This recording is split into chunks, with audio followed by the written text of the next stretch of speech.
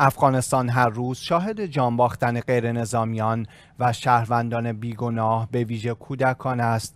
بسیاری از جنایت های سنی های تونروی طالبان و داعش مدرسه و مکتب و مراکز آموزشی را مورد هدف قرار می دهند. مسئول صندوق حمایت از کودکان سازمان ملل یونیسف در افغانستان گفته که فقط در دو روز 17 کودک در کابل، بلخ و اروزگان کشته شدند.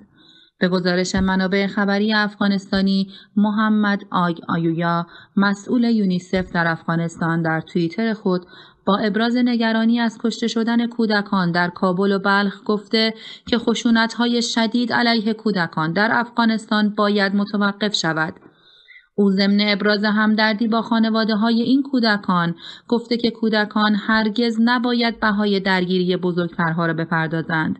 کودکان باید همیشه محافظت شوند.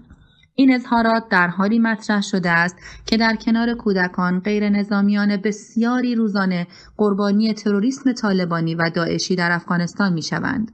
و نهادهای مسئول و صلاح بین المللی نیز یا به روند افزایش حملات تروریستی در افغانستان هشدار می دهند یا فقط این حملات را محکوم می کنند و هیچ اقدام بازدارنده و پیشگیرانه ای در قبال نسل کشی در افغانستان که بیشتر هزاره ها و شیعیان را هدف قرار داده انجام نمی دهند.